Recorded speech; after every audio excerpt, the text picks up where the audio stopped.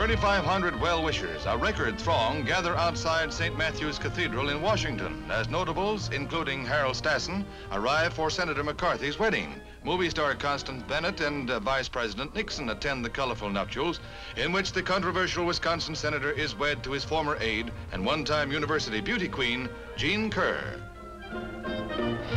The new Mrs. McCarthy, who is 14 years younger than her famous groom, is a storybook bride who captures the hearts of onlookers in front of the cathedral. Then on to the reception where Joe and Jean do the honors with a king-sized wedding cake, and Jack Dempsey busses the bride. Best wishes to bride and groom.